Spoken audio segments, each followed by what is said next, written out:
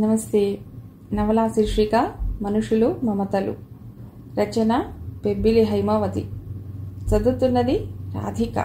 ఇక కథలోకి వెళ్తే ఉక్షరాజవాహనస్య జీవితార్గదీయసి పక్షిరాజవాహనాది వర్జమాన వైభవ.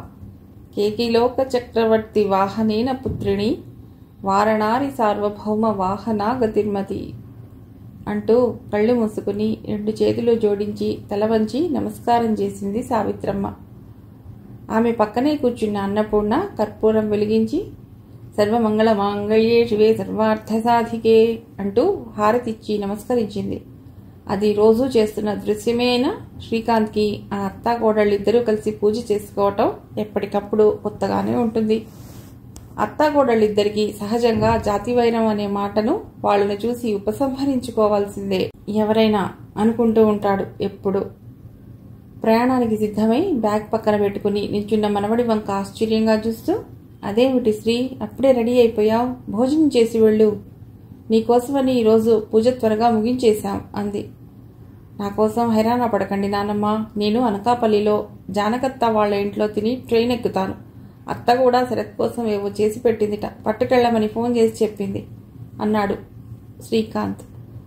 సరే జాగ్రత్తగా వెళ్ళిరా శ్రీ అంది సావిత్రమ్మ. మనవడి వంక ఆప్యాయంగా చూస్తూ.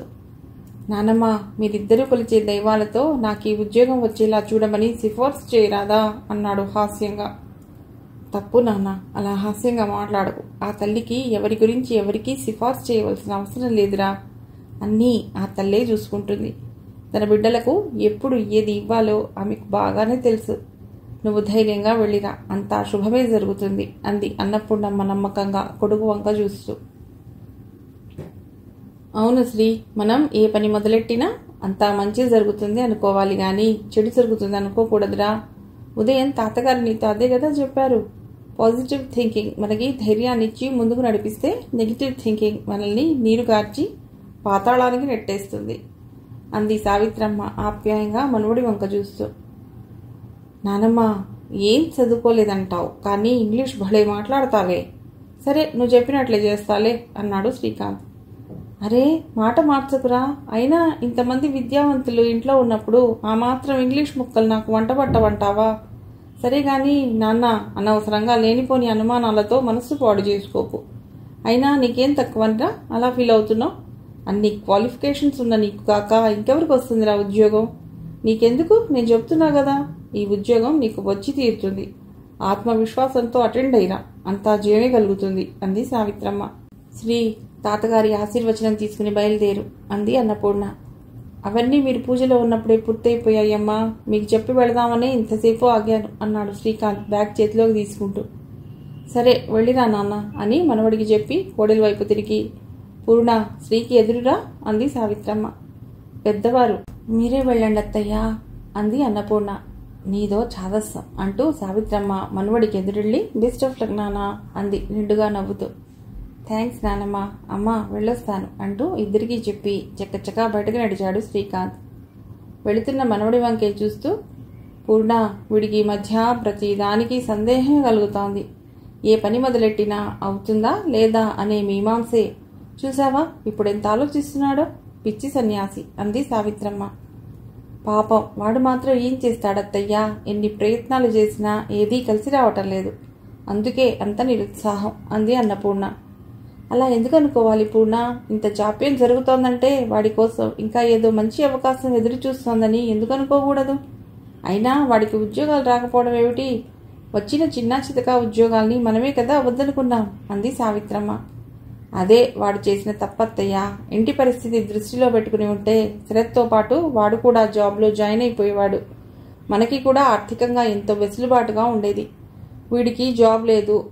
విద్య పెళ్ళికి సిద్ధంగా ఉంది. ఆయన రిటైర్మెంట్కు దగ్గర పడ్డారు. భవిష్యత్ తలుచుకుంటే చాలా బెంగగా ఉందత్తయ్యా అంది అన్నపూర్ణ దిగులుగా చూస్తూ. ఎందుకమ్మా దిగులు? నువ్వు అలాంటి భయాలేవీ పెట్టుకోకు. అన్నీ వాటంతటవే సవ్యంగా జరుగుతాయి. కృష్ణ అంటే అందరికీ ఎంతో అభిమానం. వాళ్ళందరికీ వాడు ఎంతో చేశాడు. ఇప్పుడు వాడి బాగోగులు వాళ్ళు చూడరంటావా ముఖ్యంగా దివాకర్కి విద్య అంటే ప్రాణం గదు ఆడపిల్ల లేని దివాకర్ విద్యను సొంత బిడ్డలా చూసుకుంటున్నాడు. ఈ రెండేళ్ళు దగ్గర ఉంచుకుని ఎంఏ చెప్పించాడు ఇంతకంటే ఏం కావాలి? పైగా మన జానకి ఎప్పుడో చెప్పింది కదా విద్యని శరత్కి చేసుకుంటానని. ఇంకా ఎందుకమ్మా నీకు దిగులు? అంది సావిత్రమ్మ ఓదార్పుగా.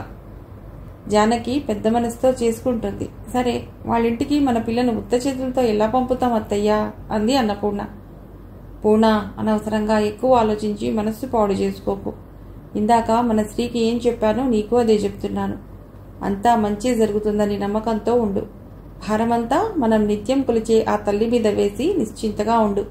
మన స్త్రీకి ఈ ఉద్యోగం తప్పక వస్తుంది. వాడికి ఉద్యోగం వస్తే అన్ని సమస్యలు చిటికెలో తీరిపోతాయి. రేపు మన వాడు శుభవార్తతో తిరిగి రాకపోతే నన్ను అడుగు అంది సావిత్రమ్మ ఆశాభావంతో. మీ నోటి చల్లం వల్ల అలా జరిగితే అంతకంటే కావలసిందేముండత్తయ్యా అంది అన్నపూర్ణ. కాలింగ్ బెల్ మోతకి గాఢ నిద్రలో ఉన్న శరత్ ఉలిక్కిపడి లేచాడు. ఎవర్రా బాబు ఇంత పొద్దున్నే బంగారం లాంటి నిద్ర పోడు చేశారు అని గొడుక్కుంటూ తలుపు తీశాడు. ఎదురుగా శ్రీకాంత్ కనిపించడంతోనే అతడి చికాకంతా ఎగిరిపోయి దాని స్థానంలో ఆనందం చోటు చేసుకుంది. ఏంట్రా శ్రీ? ఇంత హఠాత్తుగా ఊడిపడ్డాం ఫోన్ చేస్తే స్టేషన్కి వచ్చేవాడిని కదా అన్నాడు శ్రీకాంత్ని ఆలింగనం చేసుకుంటూ. నిన్ను సర్ప్రైజ్ చేద్దామని చెప్పలేదు. ఇంట్లో వాళ్ళని కూడా ఫోన్ చేయవద్దని చెప్పాను. తీరా ట్రైన్ ఎక్కాక నాకే మనసు లాగింది నీతో మాట్లాడాలని. తీరా ఫోన్ కోసం చూస్తే లేదు. అది మీ ఇంట్లో మర్చిపోయినట్లున్నాను అన్నాడు శ్రీకాంత్. మంచి పని అయిందిరా. బాగా కుదిరిందా తిక్క? లేకపోతే నాతో నా ఆటలు అంటూ అతడి భుజం చుట్టూ చేయవేసి లోపలికి తీసుకొచ్చాడు శరత్. ఇంతకీ నీ అకాల ఆగమనానికి కారణం ఏమిటో చెప్పలేదు? అన్నాడు శరత్ శ్రీకాంత్ చేతిలోని బ్యాగ్ తీసుకుని పక్కన పెడుతూ. అక్కడ ఉన్న కుర్చీలో కూర్చుని బద్ధకంగా ఒళ్ళు విరుచుకుంటూ ఏం చెప్పమంటావురా బాబు? ఇంటర్వ్యూకి వచ్చాను. నీకేం చక్కగా క్యాంపస్ సెలక్షన్లో మంచి జాబ్ కొట్టేశావు. చూడు నా పాటలు ఎలా ఉన్నాయో అన్నాడు శ్రీకాంత్ నిరాశగా. పోరా బడుద్దాయ్. కాళ్ళ దగ్గరకు వచ్చిన దాన్ని నువ్వే కదా వద్దు పొమ్మన్నావు నాతో పాటు క్యాంపస్లో సెలక్షన్ వస్తే కాదు పొమ్మని ఎంటెక్లో చేరా అన్నాడు శరత్. అరే బాబు అది నా తప్పు కాదురా. దివాకర్ బాబాయ్ నాకు వచ్చిన మార్కులు చూసి పట్టుపట్టి ఎంటెక్ చేయించారు. అది నీకు తెలిసి కూడా తప్పు నాదంటున్నావు. ఇదేమైనా న్యాయంగా ఉందా నీకు? అన్నాడు జాలిగా. పోనీ అది వదిలేద్దాం. మా నాన్నగారు ఏం చెప్పారు? విశాఖలో గాయత్రి ఇంజనీరింగ్ కాలేజీలో వేకెన్సీస్ ఉన్నాయి. లెక్చరర్గా చేరమంటే చేరావా నువ్వు? పోనీ మన చక్రీ చేస్తున్నాడు కదా. రాజా జిఎంఆర్లో అందులో అయినా జాయిన్ అవ్వచ్చు కదా అన్నాడు శరత్. అదేరా నేను చేసిన తప్పు. ఈ జాబ్ కానీ రాకపోతే ఏదో ఒక కాలేజీలో జాయిన్ అయిపోతాను.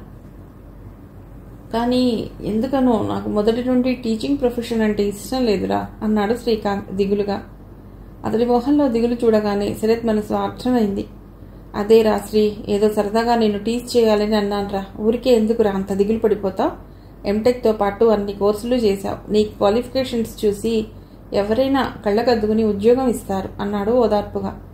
వాళ్ళిద్దరూ చిన్నప్పటి నుండి కలిసిమెలిసి పెరగటం వల్ల ఒకరంటే ఒకరికి ప్రాణం. ఎవరు బాధపడినా రెండో వాళ్ళు చూడలేరు. శరత్ ఓదార్పు మాటలతో కొంచెం తెప్పరిల్లిన శ్రీకాంత్ తను తెచ్చిన బ్యాగ్ ఓపెన్ చేసి సావిత్రమ్మ జానకి ఇచ్చిన పార్సిల్స్ తీసి ఇదిగోరా ఈ సున్ముండలు అరిసెలు నానమ్మ ఇచ్చింది. ఈ జంతికలు గవ్వలు అత్తయ్య ఇచ్చింది అంటూ వాటిని శరత్ చేతికి ఇచ్చాడు. శరత్ వాటిని ఆప్యాయంగా అందుకుని వాసన చూస్తూ ఆహ్ ఎంత కమ్మగా ఉందో వాసన. ఏదో అమ్మ చేసిందంటే సరే అనుకోవచ్చు. అమ్మమ్మకి ఈ వయసులో కూడా ఇంత ఓపికరా? ఇవన్నీ చేయటానికి పోన్లే వారం రోజుల పాటు నాకు బ్రేక్ఫాస్ట్ చేసుకునే శ్రమ తప్పింది అన్నాడు. వంట తానే చేసుకుంటాడు కనుక ఏ కొంచెం పని తప్పినా తప్పిందని సంతోషిస్తాడు శరత్. అతడి మాటలు వింటూనే శ్రీకాంత్ బెదురుగా చూస్తూ ఒరే నాన్న నీలా పొద్దున్నే నేను స్వీట్స్ అవి తినలేనురా. నువ్వేమీ కష్టపడకు కానీ నేను బయటకు పోయి తిని వస్తాలే అన్నాడు. అరే శ్రీ కంగారు పడకరా బాబు. నీకోసం ఏదో ఒకటి చేస్తాను కదా. ముందు ఫ్రెష్ అప్ అయ్యిరా అంటూ శరత్ లేచి పార్సిల్స్ తీసి సర్దాడు. అతడు ఉంటున్నది సింగిల్ బెడ్రూమ్ అపార్ట్మెంట్. అద్దె కాస్త ఎక్కువైనా అన్నింటికీ అందుబాటులో ఉంటుందని తీసుకున్నాడు. ఆ పైన తను స్వయంగా వంట చేసుకుంటాడు గనక ఖర్చులు తగ్గుతాయి గనక అద్దె భారంగా అనిపించడం లేదు అతడికి. ఇంట్లో బ్రేక్ఫాస్ట్ చేసుకుని తిని పెడితే మధ్యాహ్నం లంచ్ ఆఫీస్ క్యాంటీన్లో చేస్తాడు. రాత్రికి మాత్రం తీరిగ్గా నచ్చినవి చేసుకుని తింటాడు. అప్పుడప్పుడు తన చేతి వంటను మిత్రులకు రుచి చూపిస్తూ ఉంటాడు. శ్రీకాంత్ టిఫిన్ తింటూ ఏ మాట కామాటే చెప్పుకోవాలరా? నీ చేత్తో ఏం చేసినా అమృతంలో ఉంటుంది. నీ దగ్గర కానీ నేను ఒక నెల రోజులుంటే డబ్బులై ఊరుకుంటాను అన్నాడు. అరే దుర్మార్గుడా నెల రోజులుండి నాతో చేయించుకుని తింటావా? నువ్వు కాలు మీద కాలు వేసుకుని తింటే నేను వండి పెట్టడానికి నీ పెళ్ళాన్నట్రా అంటూ నవ్వాడు శరత్. పోనీ అందాక అలా అనుకుంటే పోలా అంటూ ఆ నవ్వుతో శృతి కలిపాడు శ్రీకాంత్. ఆ మాట అంటే మాత్రం తంతాను రోయ్. ఫోన్లే కానీ త్వరగా కానిచ్చి రెడీ అవ్వు. నేను ఇంటర్వ్యూకి దింపేసి నేను మా ఆఫీస్కి వెళ్ళాలి. టైం అవుతోంది అంటూ తాను కూడా గబగబా తినడం ముగించి రెడీ అయిపోయాడు శరత్. బైక్ స్టాండ్ తీస్తూ ఇంటర్వ్యూ అయ్యాక సరాసరి మా ఆఫీస్కి వచ్చేరా. ఇద్దరం కలిసి కాసేపు సరదాగా తిరిగి బయట ఎక్కడైనా డిన్నర్ చేసి వద్దాం అన్నాడు శరత్. సరే పద అంటూ శరత్ వెనక కూర్చున్నాడు శ్రీకాంత్. సాయంత్రం నాలుగు గంటలైంది. శ్రీకాంత్ వచ్చే వేళైంది అనుకుంటూ తాను చేయవలసిన పనులన్నీ త్వరగా ముగించేశాడు శరత్. ఇక వాడు వస్తే మా మేనేజర్ని పర్మిషన్ అడిగి వెళ్ళిపోవటమే అనుకున్నాడు హుషారుగా. శ్రీకాంత్ ఉండే ఈ నాలుగు రోజులు ఎలా స్పెండ్ చేయాలో మనసులోనే రకరకాలుగా ప్లాన్స్ చేసుకోసాగాడు. ఇంతలో శరత్ ఫోన్ రింగ్ అవ్వడంతో తీసి చూశాడు. డిస్ప్లేలో దివాకర్ నంబర్ చూసి ఇదేమిటి? ఈ సమయంలో మావయ్య ఫోన్ చేశాడు అనుకున్నాడు. మళ్ళీ అంతలోనే శ్రీకాంత్ సెల్ మర్చిపోయి వచ్చాడు కదా. వాడి ఇంటర్వ్యూ సంగతి ఏమైందో తెలుసుకుందాం అనుకుని నాకు ఫోన్ చేసి ఉంటాడు అనుకుంటూ టాక్ బటన్ నొక్కి హలో మావయ్య అన్నాడు. అరే శరత్ శ్రీకాంత్ ఇంటర్వ్యూ నుండి వచ్చాడురా అని అడిగాడు దివాకర్ ఆదుర్దాగా. ఇంకా రాలేదు మావయ్య వస్తాడులే. నీ గొంతేమిటి బొంగురు పోయినట్లుగా అదోలా ఉంది. ఒంట్లో బాగోలేదా? అని అడిగాడు శరత్. నాకేం రా నేను బాగానే ఉన్నాను. అరే శరత్ గంట క్రితం హార్ట్ అటాక్ వచ్చి అమ్మమ్మ పోయిందిట్రా అన్నాడు దివాకర్ ఏడ్ చేస్తూ. ఆ మాట వింటూనే శరత్ నిశ్చేషుడైనట్టుగా కొన్ని క్షణాలు అలాగే ఉండిపోయాడు. చివరికి గొంతు పెగుల్చుకుని నిజమేనా మావయ్య? ఇప్పుడు నువ్వు ఎక్కడున్నావు అని అడిగాడు ఆందోళనగా. మేమంతా ఇప్పుడు చోడవరం వెళ్ళే బస్సులో ఉన్నాంరా. వాడు వచ్చాక వెంటనే ఈ వార్త చెప్పకు. తట్టుకోలేడు. నెమ్మదిగా చెప్పు. త్వరగా బయలుదేరి వచ్చేయండి. జాగ్రత్త అన్నాడు దివాకర్. సరే మావయ్య అంటూ ఫోన్ ఆఫ్ చేసి నిస్సత్తువుగా కుర్చీలో వాలిపోయాడు. అతడి ప్రమేయం లేకుండానే కళ్ళ నీళ్ళు ధారలు పెట్టాయి. అది చూసిన పక్క సీట్లోని ఆనందరావు ఏమిటి శరత్? ఏమైంది? అంటూ ఆదుర్దాగా లేచి వచ్చాడు శరత్ దగ్గరికి. అతని చేతులు పట్టుకుని ఏడ్ చేస్తూ ఆనంద్ గంట క్రితం మా అమ్మమ్మ గారు పోయారట. ఇప్పుడే మా మావయ్య ఫోన్ చేసి చెప్పాడు అన్నాడు. అయ్యో ఎంత పనైంది శరత్ అమ్మగారు ఎంతో ఆరోగ్యంగా ఉండేవారు కదూ? ఇంత హఠాత్తుగా ఏమైంది? అన్నాడు ఆనందరావు సానుభూతిగా. హార్ట్ అటాక్ వచ్చిందిట. నిన్న మా శ్రీకాంత్ అక్కడి నుండే వచ్చాడు. నా కోసం అమ్మమ్మ పిండి వంటలు కూడా పంపింది ఆనంద్. ఇంతలోనే ఇలా అయిపోయింది అన్నాడు శరత్ తిరిగి ఏడుస్తూ. విషయం విన్న కొలీగ్స్ అతడి వైపు సానుభూతిగా చూశారు. త్వరగా బయలుదేరి శరత్ ఆలస్యమైతే అమ్మమ్మ గారి ఆఖరి చూపు అందుకోలేవు అన్నాడు ఆనందరావు. సావిత్రమ్మ గారి మరణవార్త వినడంతో ఆనందరావు మనస్సు కూడా భారమైపోయింది. మొన్న సంక్రాంతి పండుగకు శరత్తో పాటు అక్కడికి వెళ్ళాడు. కళ్ళల్లో కరుణ పెదవుల మీద చెరగని చిరునవ్వుతో చూపరులను మంత్రముగ్ధులను చేస్తున్నట్లు అనిపిస్తుంది ఆమె రూపం. చూడగానే రెండు చేతులు ఎత్తి నమస్కరించాలనిపిస్తుంది ఎవరికైనా. ఆవిడ్ని చూడటంతోనే సాక్షాత్తు పార్వతీదేవిలా ఉందనుకున్నాడు ఆనందరావు. తన మనవలందరితో పాటు ఆనందరావుని కూడా ఎంతో ఆప్యాయంగా చూసింది. ఆమె చూపిన ఆదరణను అతడి జీవితంలో ఎప్పటికీ మర్చిపోలేడు. అందుకే ఆ వార్త వినగానే అతడి కళ్ళు తడిశాయి. ఇద్దరూ కలిసి మేనేజర్ గారి దగ్గర వెళ్ళారు. విషయం విన్న వెంటనే ఆయన లీవ్ శాంక్షన్ చేశారు. శ్రీకాంత్ అపాయింట్మెంట్ ఆర్డర్ తీసుకుని ఉరకలు వేసే ఉత్సాహంతో శరత్ ఆఫీస్కి వచ్చాడు. అతడిని చూడటంతోనే శరత్ వచ్చావా శ్రీ? పద వెళ్దాం అన్నాడు. శరత్ ముఖంలో ఉదయం కనిపించిన సంతోషం ఇప్పుడు మత్సుగైనా లేకపోవడంతో ఆశ్చర్యపోతూ ఏంట్రా శరత్ అలా ఉన్నామేమిటి అని అడిగాడు శ్రీకాంత్ ఆదుర్దాగా. శరత్ జేబులో నుండి కర్చీఫ్ తీసి మొహం తుడుచుకుంటున్నట్లుగా ఉబికి వస్తున్న కన్నీళ్ళను తుడుచుకున్నాడు. శరత్ కొలీగ్స్ ఇద్దరి ముగ్గురితో శ్రీకాంత్కి కొంచెం పరిచయం ఉంది. అంతకుముందు ఒకటి రెండు సార్లు అతడు అక్కడికి రావటం వలన అందరూ తమ వైపు సానుభూతిగా చూస్తున్నట్లు అనిపించింది. ఆనందరావు వైపు ప్రశ్నార్థకంగా చూశాడు శ్రీకాంత్. వెంటనే ఆనందరావు అతడి భుజం మీద చేయి వేసి సారీ శ్రీకాంత్ గారు మీ నాన్నమ్మ గారు పోయారట ఇప్పుడే ఫోన్ వచ్చింది అన్నాడు సానుభూతిగా చూస్తూ. అంతవరకు ఆనందంతో వెలిగిపోతున్న శ్రీకాంత్ ముఖం ఆ మాట వినడంతోనే వెలవెలాబోయింది. షాక్ తిన్నట్లుగా చూస్తూ నిజమేనా శరత్? అన్నాడు అతన్ని కుదిపేస్తూ. నిన్న తనకి ధైర్యం చెప్పి చిరునవ్వుతో శకునం వచ్చి సాగనంపిన నానమ్మ లేదు అనుకోగానే అతడి నవ్వనాడులు కుంగినట్లయింది. అవునరా అమ్మమ్మ మనకిక లేదు అంటూ ఏడుస్తూ అతడిని చుట్టేశాడు శరత్. ఆ ఇద్దరిని అలా చూస్తూ ఉంటే అందరి కళ్ళు చెమ్మగిల్లాయి. చివరికి ఆనందరావు మాటలు కూడా తీసుకుని మీరిద్దరూ ఇక్కడ బాధపడుతూ కూర్చుంటే అమ్మమ్మ గారి చివరి చూపులు కూడా దక్కవు. బయలుదేరండి వెంటనే అన్నాడు అనునయంగా. ఇద్దరూ భారమైన మనసులతో ఇంటికొచ్చారు. చేతికందిన బట్టలు బ్యాగ్లో కుక్కుకుని బయలుదేరుతుండగా శరత్ దృష్టి ఉదయం అమ్మమ్మ తన కోసం పంపిన పార్సిల్స్ మీద పడింది. వాటిని చూడటంతోనే సముద్ర కెరటంలా దుఃఖం పొంగుకొచ్చింది. అమ్మమ్మ చివరిసారి నా కోసం ఇవి చేసి పంపావా? ఇక మీదట ఇలాంటివన్నీ నా కోసం ఎవరు చేసి పంపుతారు? అంటూ వాటిని చేత్తో పట్టుకుని ఏడ్చేశాడు శరత్.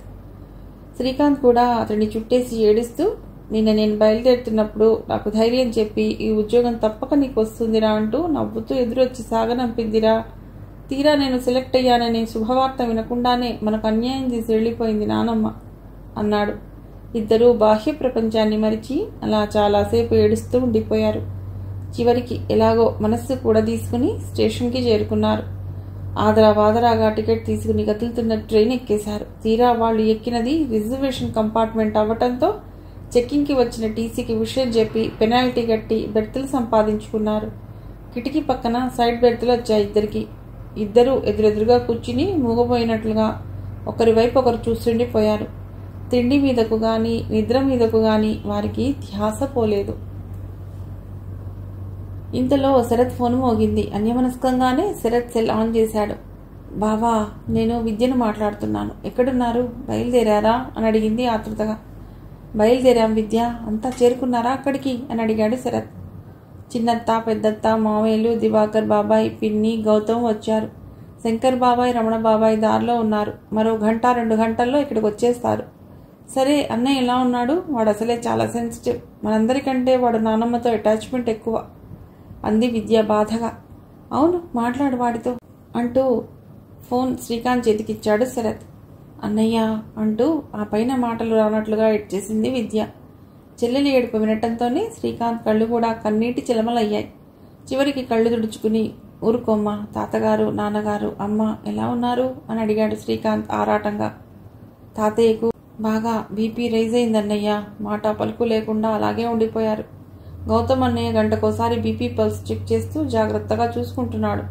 మేమంతా చూస్తుండగానే నానమ్మ మాట్లాడుతూ మాట్లాడుతూనే నాన్నగారి చేతుల్లో ఒరిగిపోయిందన్నయ్య. డాక్టర్ గారిని పిలిచే వ్యవధి కూడా మాకు లేకపోయింది.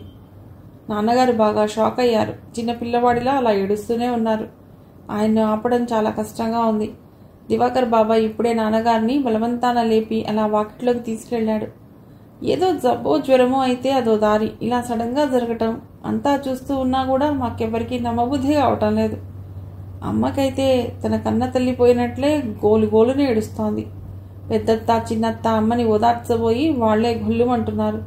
అన్నయ్య నాకు మనసంతా భారంగా దిగులుగా ఉంది. నువ్వుంటే ఆ దారి వేరుగా ఉండేది అంటూ ఏడ్చేసింది విద్య. ఏడవకమ్మ ధైర్యంగా ఉండు అంటూ ఆ పైన ఇంకేమీ మాట్లాడలేక సెల్ ఆఫ్ చేసి శరత్కిచ్చాడు శ్రీకాంత్. ఏమంటోంది విద్య? అని అడిగాడు శరత్. అది మనలాగే బాగా అప్సెట్ అయిందిరా. తాతగారు మన లోకంలోనే లేరుట. నాన్నగారిని పట్టుకోవటం ఎవరికీ సాధ్యం కావటం లేదుట. ఇంత జరిగినా ఇంకా నాకు నమ్మబుద్ధి కావటం లేదురా శరత్. ఇదంతా కలైతే ఎంత బాగుండును? అన్నాడు శ్రీకాంత్ బాధగా. నాకు అలాగే ఉందిరా. మొన్న నేను సంక్రాంతికి అక్కడికి వచ్చినప్పుడు అమ్మమ్మ ఇంత ఆరోగ్యంగా ఉందిరా?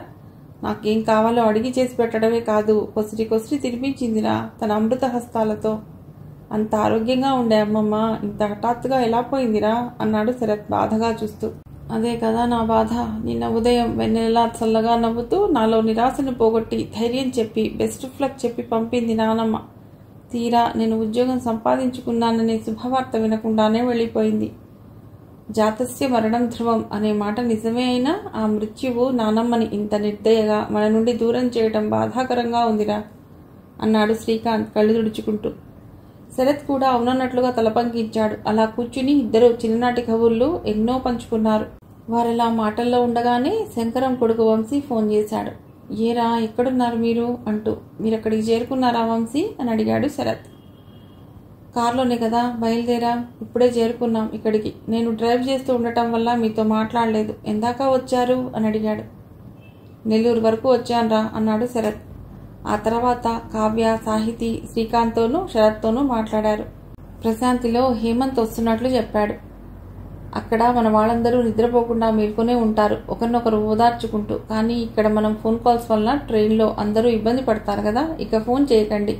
గౌతమ్ గాని చక్రి గాని ఫోన్ చేస్తామన్నా వద్దని చెప్పండి అంటూ ఫోన్ పెట్టేశాడు శరత్. ఇక పడుకోరా అని చెప్పి శ్రీకాంత్ పైబత్ మీదకి వెళ్ళిపోయాడు. ఎంత ప్రయత్నించినా శరత్కి నిద్ర పట్టలేదు. అతడి ఆలోచనల్ని చనిపోయిన సావిత్రమ్మ గారి చుట్టూనే తిరుగుతున్నాయి.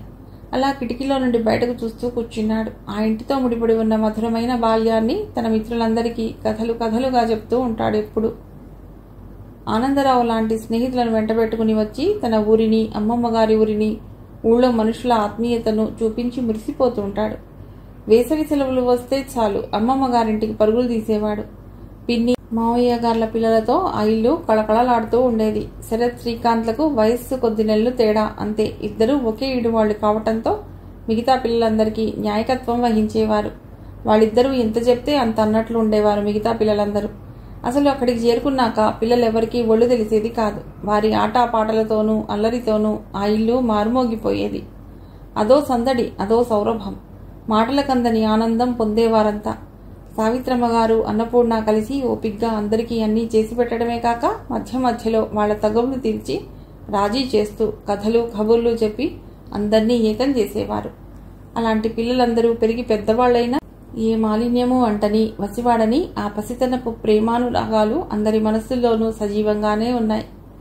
గతంలో మాదిరి అందరూ తరచూ కలుసుకోలేకపోయినా ఫోన్ల ద్వారా ఒకరి క్షేమ సమాచారాలు మరొకరు తెలుసుకుంటూనే ఉంటారు. ఆ ఆనందానికి కేంద్రబిందువైన సావిత్రమ్మ గారి అకాల మరణం అందరి మనస్సులను కలిచివేసింది. శరత్ చదువై ఉద్యోగం చేస్తూ ఉన్నా తరచూ అమ్మమ్మ గారింటికి వెళ్తూ ఉంటాడు.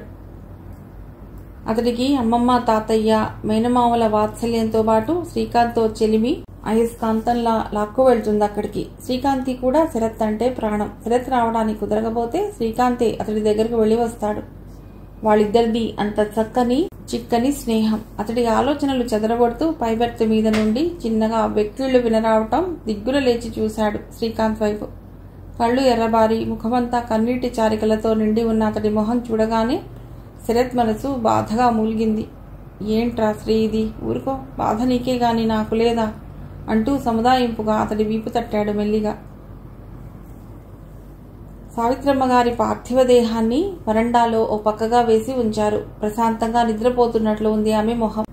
ఈ వయసులో తనని ఒంటరిని చేసిపోయిన భార్య వైపు మీరు నిమేషంగా చూస్తుండిపోయారు జగన్నాథం గారు. మరోపక్క కృష్ణమూర్తి అమ్మా అమ్మా అంటూ కంటికి మింటికి ఏకధారగా ఎడవసాగాడు కొడుకులు కోడళ్ళు కూతుళ్ళు అల్లుళ్ళు మనవలు అంతా ఆమె చుట్టూ కూర్చున్నారు దీనంగా చూస్తూ. కృష్ణమూర్తి జగన్నాథం గారి పెద్ద కొడుకు. జోడవరం హై స్కూల్లో హెడ్ మాస్టర్గా పనిచేస్తున్నాడు. మంచి వ్యక్తిగా స్కూల్లోనూ ఊళ్ళోనూ ఎంతో గుర్తింపు గౌరవం ఉంది అతడికి. అందుకే అతడికి వచ్చిన కష్టం తమకే వచ్చినట్లుగా ఊరు ఊరంతా అక్కడే ఉంది. అమ్మగారు నిన్ననగా పోయారు. ఇంకా ఉంచితే మంచిది కాదు. బాడీ చెడిపోతుంది అన్నారెవరో. దానికి జవాబుగా మాస్టర్ గారి అబ్బాయి వారి మేనల్లుడు రావాలట. వాళ్ళు వస్తేనే గాని అమ్మగారిని కదల్చడానికి వీల్లేదని జగన్నాథం గారి రెండో అబ్బాయి దివాకరన్ చెప్పారు అన్నాడు. పోనీ వాళ్ళు వచ్చేలోగా మిగతా ఏర్పాట్లు చేస్తే వాళ్ళు రాగానే కార్యక్రమం మొదలు పెట్టవచ్చు కదా అన్నాడు మొదట ఆయన అవును నిజమే. పదండి మాస్టర్ గారితో ఒక మాట చెప్పి పనులు మొదలెడదాం అంటూ ముందుకు నడిచాడు ఆయన. మిగతా వారు ఆయన అనుసరించారు. మాస్టారు మీకు చెప్పదగిన వాడిని కాదు. పోయిన వాడితో మనం కూడా పోలేము కదా. అమ్మగారు పుణ్యాత్ములు గనుక ఏ కష్టమూ లేకుండా సునాయాసంగా వెళ్ళిపోయారు. అందరికీ అలాంటి చావు రమ్మన్నా రాదు కదండి. పిల్లలొచ్చేలోగా జరగవలసిన ఏర్పాట్ల గురించి ఆలోచిస్తే బాగుంటుంది అన్నారాయన అతడి మాటలు విని కృష్ణమూర్తి నిస్తేజంగా చూశాడే తప్ప బదులు పలకలేదు. అన్నగారి పరిస్థితిని గమనించిన దివాకర్ మీరు పదండి సార్ అన్నయ్యతో నేను మాట్లాడతాను అంటూ వాళ్ళని అక్కడి నుండి పంపించేశాడు. అన్నయ్య ఏది గ్రహించే స్థితిలో లేడననుకున్న దివాకర్ శంకరం వెంకటరమణ దగ్గరకు వెళ్ళాడు. శంకరం చూసారుగా అన్నయ్య పరిస్థితి? అసలు మాట్లాడే స్థితిలోనే లేడు. మనమే పూనుకుని ఈ కార్యక్రమం గట్టెక్కించాలి. నా దగ్గర కూడా చాలినంత డబ్బు లేదు. మీరందరూ తలో మూడు వేలు ఇస్తే ఇప్పటికి పని జరిగిపోతుంది అన్నాడు దివాకర్ అడగలేక అడుగుతూ. అతని మాటలు విని వారిద్దరూ ఒకరి ముఖాలు వంక ఒకరు చూసుకున్నారు.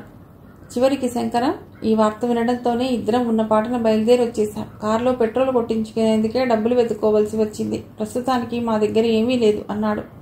వెంకటరమణ కూడా దానికి వంత పాడాడు. ఆ మాట వింటూనే దివాకర్కి కోపం ముంచుకొచ్చింది. అరే ఏమిట్రా ఇది? చనిపోయింది మన అమ్మరా.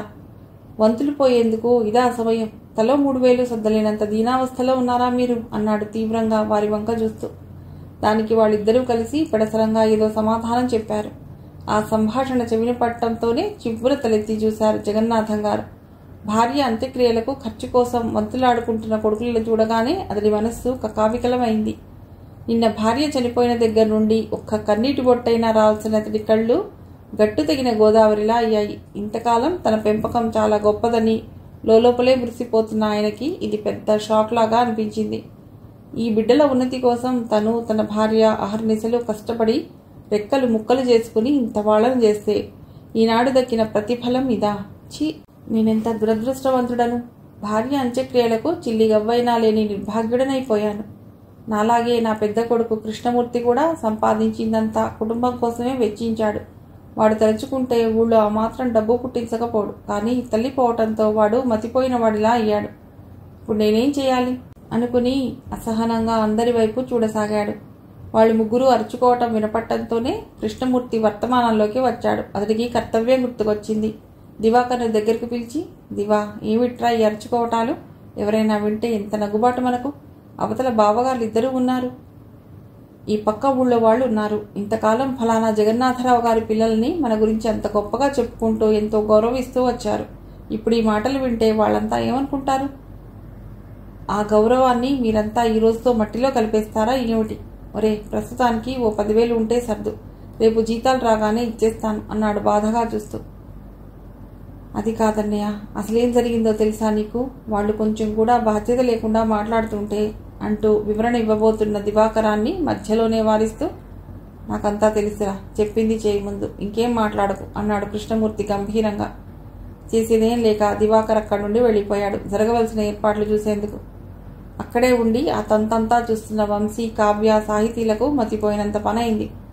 తమ తండ్రుల నిర్వాకం చూశాక నెల నెల తమకు పాకెట్ మనీగా ఇచ్చేంత కూడా లేని ఈ ఖర్చు వీళ్ళు భరించలేరా? ఇంత అన్యాయం అనుకున్నారు బాధగా. శరత్ శ్రీకాంత్ చోడవరం చేరుకునేసరికి సావిత్రమ్మ గారి అంత్యక్రియలకు అన్ని ఏర్పాట్లు చేసి సిద్ధంగా ఉంచారు. వాళ్ళ రాక కోసం ఎదురు చూస్తూ ఉండటంతో వాళ్ళు రాగానే కార్యక్రమాలు మొదలుపెట్టారు. ఇద్దరూ రావటంతోనే పరుగున వెళ్ళి సావిత్రమ్మ గారి పాదాల మీద తలవార్చారు చిన్నపిల్లలా ఏడుస్తూ. వాళ్ళని చూడటంతోనే అందరూ మరోసారి గుళ్ళుమన్నారు జానకి శరత్ని చుట్టేసి చూడరా నాన్న అమ్మమ్మ మనందరినీ ఎంత అన్యాయం చేసిపోయిందో అంది ఏడుస్తూ. అత్త ఇలా అయిందేంటత్తా? అంటూ శ్రీకాంత్ కూడా జానకిని చుట్టేశాడు ఏడుస్తూ. అంతవరకు పసివాడిలా ఏడుస్తున్న కృష్ణమూర్తి వాళ్ళిద్దరి ఏడుపు చూసి మెల్లిగా లేచి వచ్చి చెరో చేత్తో ఇద్దరిని తీసుకుని ఓదార్పుగా వెన్ను తట్టాడు. విద్య కావ్య సాహితి వందన మానస వంశీ చక్రధర్ హేమంత్ గౌతమ్లు వారిద్దరిని చుట్టుముట్టారు. అందరూ బాధాతప్త హృదయాలతో ఒకరివైపు ఒకరు దిగులుగా చూస్తూ ఉండిపోయారు. సావిత్రమ్మ గారి అంతిమయాత్ర బయలుదేరింది. పసుపు కుంకుమలతో పూలరథం మీద అయిన వారందరినీ శోకసంద్రంలో ముంచి సావిత్రమ్మ గారు చల్లగా వెళ్ళిపోయారు. కార్యక్రమాలన్నీ ముగిసిన తర్వాత స్నానం చేసి వచ్చి జగన్నాథం గారికి చెరోవైపా కూర్చున్నారు శరత్ శ్రీకాంత్లు. ఇద్దరి కళ్ళు ఏడ్చి ఏడ్చి మంకెన పువ్వుల్లా ఎర్రబారిపోయాయి. వాళ్ళ తాతగారి పక్కన కూర్చున్నారే గాని ఆయనకు ధైర్యం చెప్పేందుకు కానీ ఓదార్చేందుకు కానీ వారికి తగిన వయస్సు అనుభవము లేకపోయింది. ఆయన చేతులు తమ చేతుల్లోకి తీసుకున్నారు ఆప్యాయంగా. ఒక్కోసారి మాటల కంటే మౌనమే ఎక్కువ ఓదార్పునిస్తుందనే మాట వారి విషయంలో నిజమైంది. మనువులిద్దరి ఆత్మీయ స్పర్శ ఆయనలో కదలిక తెచ్చింది. వారిద్దరి భుజాల మీద మెల్లిగా చేతులు వేశారు.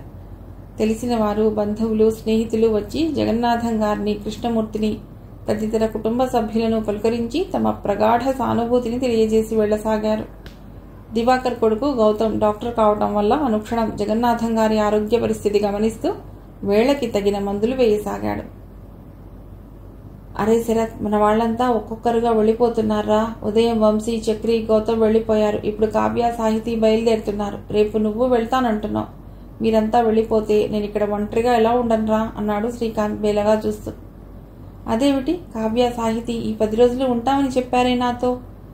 వంశీకి ఇంటర్నల్స్ ఉన్నాయని హేమంత్కి ఆఫీస్ వర్క్ ఉందని వెళ్ళారు వీళ్ళకేమైంది? అన్నాడు శరత్ ఆశ్చర్యంగా. అవునా? అయితే సడన్గా వీళ్ళిద్దరికీ ఎగ్జామ్స్ ఎలా పుట్టుకొచ్చాయో అడుగుదాం పదా? అన్నాడు శ్రీకాంత్ కోపంగా. వాళ్ళిద్దరిని చూడడంతోనే బ్యాగులు సర్దుతున్న కావ్య సాహితీ చేస్తున్న పని ఆపి ప్రశ్నార్థకంగా వారి వంక చూశాడు. శ్రీకాంత్ కోపంగా వారి వంక చూస్తూ వాడితో ఉంటానని చెప్పారట నిన్న. ఇంతలోనే పరీక్షలు ఎక్కడుండి పుట్టుకొచ్చాయి మీకు? అన్నాడు. అవును నిన్నటికి వాటికి వచ్చిన మార్పుకి కారణం మాకు తెలియాలి అన్నాడు శరత్. బాబు ఇక్కడి రాజకీయాలు చూస్తూ ఉంటే మా తలలు తిరిగిపోతున్నాయి. నానమ్మ ఉండగా బృందావనంలా ఉండే తాతగారిల్లు ఈరోజు యుద్ధభూమిలా మారుతూ ఉంటే చూడలేక పారిపోతున్నాం అంది కావ్య. నిన్నటి దాకా ఈ ఇంట్లో అందరూ ఒకరి కోసం ఒకరు అన్నట్లు ఉండేవారు. అలాంటిది ఈరోజు ఎవరికి వారే యమునా తీరి అన్నట్లుగా స్వంత లాభాలు చూసుకుంటున్నారు. ఇన్నాళ్ళు ఓడకి కెప్టెన్లా నానమ్మ ఉండేది. అందరినీ సరైన దారిలో నడిపేది. ఇప్పుడు ఆమె కనుమరుగు కాగానే మనుషుల మధ్య మమతలు మమకారాలు అన్నీ మాయమైపోయాయి. అంది సాహితి బాధగా. ఏమిటమ్మా సాహితి? అలా పజిల్గా మాట్లాడకపోతే కొంచెం అర్థమయ్యేట్లు మాట్లాడవచ్చుగా? అన్నాడు శ్రీకాంత్. చెల్లెలి వంక చిరాగ్గా చూస్తూ. వినడానికే మీకెంత చిరాగ్గా ఉంటే కళ్ళారా చూసిన మాకెంత చిరాగ్గా ఉంటుందో ఆలోచించన్నయ్యా అంది కావ్య. మీరు ఇక్కడికి ఆలస్యంగా వచ్చారు. కనుక ఇక్కడ జరిగిన సంఘటనలు మీరు చూడలేదు. మేము వచ్చిన దగ్గర నుంచి అందరినీ అన్నింటినీ గమనిస్తూనే ఉన్నాం. ఏ విషయంలోనూ ఎప్పుడూ మన మధ్య దాబరికాలు లేవు కదా? మీరు వచ్చాక జరిగిందంతా చెబుదామని అనుకున్నాం. చక్రి బాబా వంశీ మీతో మాట్లాడాలని చాలా ట్రై చేశారు. కానీ మీరిద్దరూ తాతగారి దగ్గరే ఎక్కువ సమయం గడపటం వల్ల ప్రత్యేకంగా పిలిచి చెప్పలేకపోయారు. వాళ్ళేవో పనులున్నాయని వంకపెట్టి వెళ్ళిపోయారు. మేమిద్దరము ఇక్కడ ఇరుక్కుపోయాం. అంది కావ్య. ఇక గౌతమ్ అన్నయ్యకు తాతగారిని చూసుకోవటంతోనే సరిపోయింది. అందువలన తనకి మీతో మాట్లాడేందుకు కుదరలేదు అంది సాహితి. అసలు సంగతి ఏమిటో చెప్పండి ముందు అన్నాడు శరత్ విసుగ్గా. అసలు ఈ సమస్యకు అంతటికీ కేంద్ర బిందువు నువ్వే బాబా నీ పెళ్ళి విషయమే ఘాటుగా చర్చలు జరుగుతున్నాయి ఇక్కడ అంది సాహతి. ఛీ పెళ్ళి మాటలకిదా సమయం అన్నాడు శరత్ ఏవగింపుగా. కదా? ఈ మాట వింటేనే మనకి తప్పుగాను అసహ్యంగానూ ఉంది. కానీ మన పెద్దవాళ్ళు నాన్నమ్మ పోయిన బాధను పక్కన పెట్టి ఆస్తులు ఆదాయాల్ని గురించి లాభ నష్టాల గురించి బేరీజు వేసుకుని మాట్లాడుతున్నారు. అత్త నిన్నిప్పుడు త్రాసులో పెట్టి చూస్తోంది బావా. ఎంత ధర పలుకుతావోనని అంది కావ్య కోపంగా. అర్థం లేకుండా మాట్లాడకు. ప్రత్యేకంగా నాకు ఇప్పుడు పెళ్ళి సంబంధం చూడటం ఏమిటి అన్నాడు శరత్. అవన్నీ నాన్నమ్మ ఉన్నప్పుడు మాటలు ఇప్పుడంతా మారిపోయింది. ఇంతకీ అత్త ఎంపిక చేసింది ఎవరినో తెలుసా? నన్నే అంది కావ్య బాధగా. నిజంగా? అన్నారు శరత్ శ్రీకాంత్ ఇద్దరూ ఒకేసారి. బావా ఇందులో అత్త ఒక్కతే కాదు మా అమ్మా నాన్నలకు భాగం ఉంది. అసలు దీనికి అంతటికీ కారకులు మా అమ్మా నాన్నలే. అత్త నిన్నటిదాకా విద్య నా కోడలు అని ఎంతో మురిపెంగా చెప్పేది. అలాంటిది వాళ్ళ మాటలు విని ప్లేట్ ఫిరాయించేసింది. పెదనాన్నగారు తన ఒక్కగానొక్క కొడుకువైన నీకు ఏ అచ్చటా ముచ్చటా తీరలేదుట. మా నాన్న అయితే లక్షలకు లక్షల కట్నం గుమ్మరిస్తారట. ఈ మాట విన్న దగ్గర నుండి నాకు విద్య మొహం చూడాలంటే సిగ్గుగా ఉంది. చిన్నప్పటి నుండి మీ ఇద్దరిని మేమంతా జంటగా ఊహించుకుంటున్నాం. ఇప్పుడు విద్యా స్థానంలో నన్ను ఊహించుకునేందుకే అసహ్యంగా ఉంది నాకు. అక్కడికి చిన్నత్త ఇది సరైంది కాదు అని చెప్పబోతే నీకేం తెలియదు నువ్వు ఊరుకో అంటూ చిన్నత్తని ఈసడించి పారేసింది అత్త అందుకే ఇక్కడ ఉండలేక పారిపోతున్నాం అంది కావ్య కోపంగా. అంతేకాదన్నయ్య ఈ విషయం విన్నా ఈరోజు జరిగింది మా అందరికీ చాలా బాధ కలిగించిన విషయం వేరే ఉంది. అదే మీతో వంశీ అన్నయ్య చెప్పాలనుకున్నాడు. మొన్న నానమ్మ చనిపోయినాడు ఏం జరిగిందో తెలుసా? మీరు వచ్చేలోగా అంతిమ యాత్రకు అవసరమైన ఏర్పాట్లు చేయమని ఊళ్ళో పెద్దలు పెదనాన్నగారితో చెప్పారు. ఆయన కదిపితే చాలు కన్నీటి కడలిలా అయిపోతున్నారు. మా నాన్న బాబాయ్ ప్రేక్షకుల్లా చూసిండిపోయారు. దివాకర్ పెదనాన్న పెద్ద పెదనాన్నగారి స్థితి చూసి ఆయన్ని కదిలించడం ఇష్టం లేక ఏం చేద్దామని నాన్నని బాబాయిని అడిగారు. వాళ్ళు తమ దగ్గర ఏమీ లేదని మొండి చేయి చూపడమే కాక దివాకర్ పెదనాన్నతో ఘర్షణకు దిగారు. అది చూసి పెద్ద పెదనాన్నగారు కలుగు చేసుకుని దివాకర్ పెదనాన్నని ఆ డబ్బు సర్దమని జీతాలు వచ్చాక తిరిగి ఇచ్చేస్తామని ఆయన చెప్తూ ఉంటే మా మనసులు నీరైపోయాయి.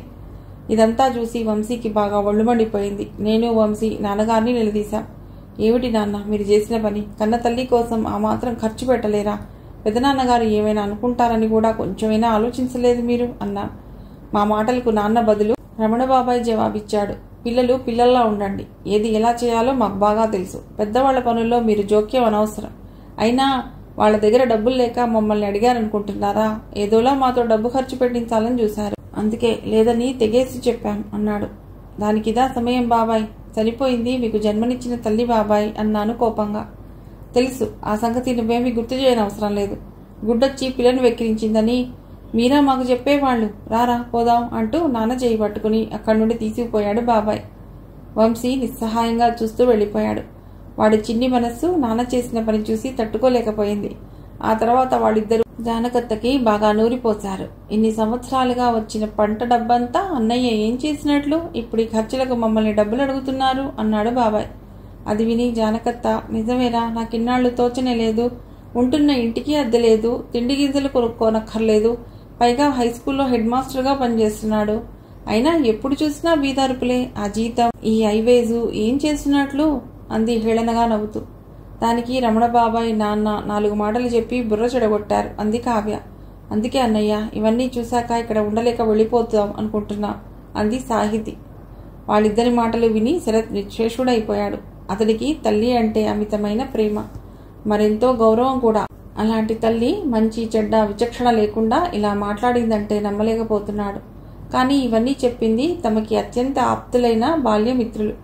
నమ్మకుండా ఎలా ఉండగలడు? అది అర్థం చేసుకున్న శ్రీకాంత్ శరత్ భుజం తడుతూ అరే శరత్ మరీ ఎక్కువగా ఆలోచించకురా. మనందరం కలిసి ఏదో ఒకటి చేద్దాంలే అన్నాడు ఓర్పుగా. అతడు శరత్ ఏమాత్రం బాధపడినా చూడలేడు. కావ్య సాహితీ కూడా ఆత్మీయంగా అతడి వంక చూస్తూ నిన్ను హర్ట్ చేయాలని కాదు బావా ఇదంతా చెప్పింది. ఉన్న సంగతి మీ దృష్టికి తేకుండా ఉండలేకపోయాం అన్నారు. సరేనమ్మా ముందు మీరిద్దరూ ప్రయాణం వాయిదా వేయండి. ఆ తర్వాత మనందరం కలిసి కూర్చుని ఆలోచించి ఏదో ఒకటి చేద్దాం అన్నాడు శ్రీకాంత్. అంగీకారంగా తల్లూపారిద్దరు. ఏయ్ కావ్య ఎందుకే అర్ధోలా ఉంటున్నావు? రెండు రోజులుగా నాతో సరిగ్గా మాట్లాడటమే లేదు నువ్వు. నా మీద కోపమా? అంది విద్య దిగులుగా కావ్య వంక చూస్తూ. అయ్యో అదేం లేదు విద్య. నాకే మనస్సు బాగుండటం లేదు అంది కావ్య. ఏం చేస్తాం కావ్య? నాన్నమ్మ ఇలా హఠాత్తుగా పోవటం నాకు బాధగానే ఉంది. కానీ నువ్వు ఇలా నాతో మాట పలుకు లేకుండా ఉంటే నాకు ఇంకా బాధగా ఉంది తెలుసా? అంది విద్య కళ్ళనీళ్ళ పర్యంతం అవుతూ. నానమ్మ పోయిన బాధ మన పిల్లలందరికీ సమానమేలే. నానమ్మ మరణం నిజానికి పెద్దవాళ్ళ కంటే మనకే తీరని లోటుగా ఉంది. అయినా కారణం అది కాదు విద్య. ఇప్పుడు మనిద్దరి మధ్య కొత్త సమస్య తలెత్తబోతోంది. దాన్ని ఎలా నివారించాలా అని బుర్రబద్దలు కొట్టుకుంటున్నాను నేను. అంది కావ్య. నీకు నాకు మధ్య సమస్యలా? నీకేమైనా మతిపోయిందిటే? అంది విద్య ఆశ్చర్యంగా. నాకేం మతిపోలా? నువ్వు బుద్ధిమంతురాల్లా నీ చదివేదో నువ్వు అంటున్నట్లు ఉన్నావు. అందుకే నీ చుట్టూ ఏం జరుగుతుందో నీకు తెలియటం లేదు. అంది కావ్య. కాస్త అర్థమయ్యేట్టు చెప్పవే బాబు? నువ్వు చెప్పేది ఒక్క ముక్క కూడా నాకు అర్థం కావటం లేదు అంది విద్య. మరి అదే మాలోకంలా ఉండటం అంటే. పోనీ ఈ నాలుగు రోజులుగా మన ఇంట్లో ఏం జరుగుతుందో అదైనా తెలుసా నీకు? అని అడిగింది కావ్య. విద్య తెల్లమోహం చూసి నాకు తెలుసు నువ్వేమీ గమనించలేదని. పెద్దమ్మ వెంట తిరుగుతూ వంట చేయటం తప్ప ఇంకేం తెలుస్తుందిలే నీకు? కానీ ఇంట్లో పని మానేసి కర్ర పెత్తనాలు చేసేవాళ్ళు ఎన్ని రాజకీయాలు నడుపుతున్నారో తెలుసా నీకు? మొదటి నుండి శరత్ బావకి నేనిచ్చి పెళ్ళి చేయాలని ఇంట్లో అంతా అనుకునేవారు కదా. కానీ ఈరోజు అదంతా మారిపోయింది. శరత్ బావకి నన్ను చేసుకోమని జానకత్తని మా నాన్న అడిగాడు. వెంటనే మారు మాట లేకుండా అత్త ఒప్పేసుకుంది. ఇది విన్న దగ్గర నుండి నాకెంత బాధగా ఉందో నీకేం తెలుసు? అంది కావ్య బాధగా. అది విన్న విద్య నవ్వుతూ పోనీ చేసుకోవే దానికోసం ఇంత ఫీల్ అవ్వాలా? అంది. ఏయ్ మొద్దు నీకు నవ్వెలా వస్తుందే? నాకైతే ఒళ్ళంతా కంపరంగా ఉంది. ఆ మాట విన్నాక నీకు కొంచెమైనా బాధ లేదా?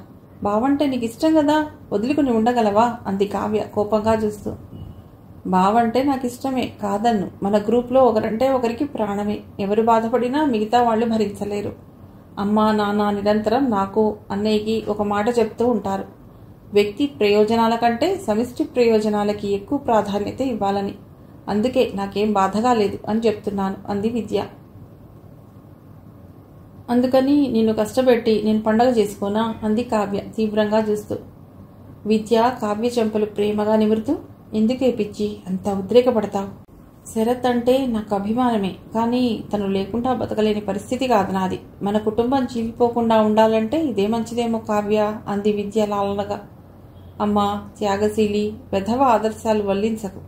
నువ్వు త్యాగం చేసినంత మాత్రాన అందుకునేందుకు సిద్ధంగా నేను లేను. నా దృష్టిలో శరత్ అంటే కేవలం విద్యక్క భర్త అంతే. నాకు వరసకు బావైనా శ్రీకాంత్ అన్నయ్య ఎంతో తను అంతే నాకు. పిచ్చి పిచ్చి ఆలోచనలు వదిలేసి దీనికి విరుగుడుగా మనమందరం ఏం చేయాలో ఆలోచించు అంది కావ్య కటువుగా. కోపం తెచ్చుకో కావ్య నేనేదో త్యాగం చేసే ఉద్దేశంతో ఆ మాట అనటం లేదు.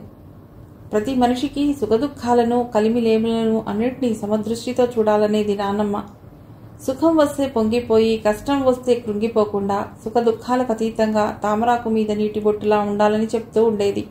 అలాగే తన జీవితాన్ని చివరి వరకు కొనసాగించింది. ప్రతినిత్యం నానమ్మ ఏం కోరుకునేదో తెలుసా?